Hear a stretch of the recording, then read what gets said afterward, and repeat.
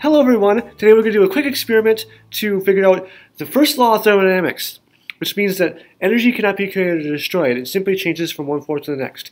And tie in the second law of thermodynamics, which says that uh, as you transfer one energy type to another type, it's going to dissipate energy along the way.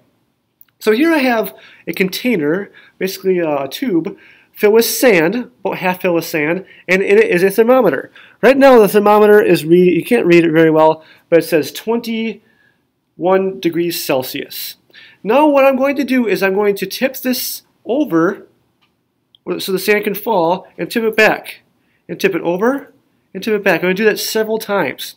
Now when you think about it, this is actually going to be conservation of energy because what I'm doing is I'm taking uh, potential energy because that sand up here, it wants to fall. So when I tip it upside down, the sand is up here. It wants to fall a certain height. wants to fall a certain height. So there's a certain of sand that says MGH. And when it falls, all of that energy is going to get transferred into heat. Not all of it, but some of it. So conservation energy says, hey, here's my starting energy, here's my ending energy it's going to equal heat. Now, the equation for heat, because this is, it's not changing phase, it's not going to melt the sand, it's just going to change in temperature of the sand. There's a thermometer in there which can actually measure the change in temperature. So the equation for heat is, uh, well, this stays the same, equals mc delta T. So really, it doesn't matter how much sand you have in there because there's mass on both sides. The mass of the sand cancels out. So G times H equals C times delta T what I wanted to do is I'm just figure out what is the specific heat of sand based on the temperature sand, on the temperature change. So if I do that once, and I read the temperature, it doesn't really change much. So I'm going to, I'm going to do it a thousand times. Let's go.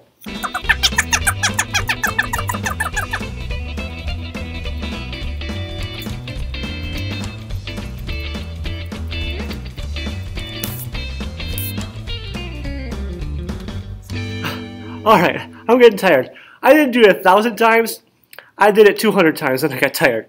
But you can see the temperature raised from 21 degrees Celsius to 26 degrees Celsius. It is really blurry. It's hard to see that. Now it's dropping 25. Uh, so it went from 21 to 26. So it changed 5 degrees Celsius with 200 turns. Okay, well, another piece of information that I need is the height that the sand traveled each time. So basically I'm just going to multiply this potential energy 200 times. and that's my, because it went MGH, and I need to multiply that height 200 times because it essentially changed its height 200 times. Uh, the height of that, I mentioned beforehand, was 10 centimeters. So essentially we have 10 centimeters, which is 0.1 meters. Okay, so working through the math here, what do we got? Well, we know that 200 times 0.1 is 20. So really, the sand traveled 20 meters. It didn't travel straight down 20 meters, but it traveled back and forth a bunch of times 20 meters. So we have 9.81 for G times 20 equals specific heat capacity of sand times 5, because the temperature change, sorry, times 4. Yeah, no, 5. It went from 21 to 26. Forgot. Dropped down to 25 after I let it cool down. All right, very good. So now we can find the specific heat capacity of sand. Just rearrange that for C. So I get a value for specific heat capacity of sand to be 39.24. Uh, so C is 39.24. Let's think of what the units for specific heat capacity would be. This is, uh, this whole side is joules and we're dividing by mass, so joules per Kelvin, or kilogram, and we're also dividing by temperature, Kelvin. So the specific heat capacity is going to be joules per kilogram Kelvin. 39.24 is the specific heat capacity that I got for the sand.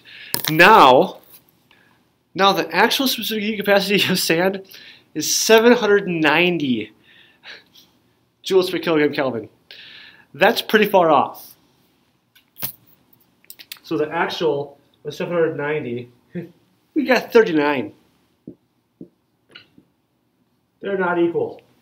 So let's try to think about why they're not equal. Well, there's something that's we really have to consider here, is that one thing is when I turn it, is that I put more than just potential energy into it, I put kinetic energy into it as well. So really, this should be mgh plus 1 half mv squared. And then also, the main reason is the second law of thermodynamics. States, hey, yeah, I put heat into the sand, but there's a lot of dissipated energy. So really, there is my full uh, equation. I don't know how fast I turned it. I tried to go, well, you saw I was going kind of fast. Now sped up, by the way. I was going kind of fast. But in reality, we can't always simplify things by just saying mgh equals q. But sometimes we can. Sometimes we can if uh, if it's a good efficiency. This would be a pretty bad efficiency. Our efficiency would be well, whatever 39 divided by 790 is. Yeah, that's pretty far off. So hopefully that makes sense. We're going to try this experiment on your own, see how close you can get. Can you get better than 5% efficiency? Hopefully.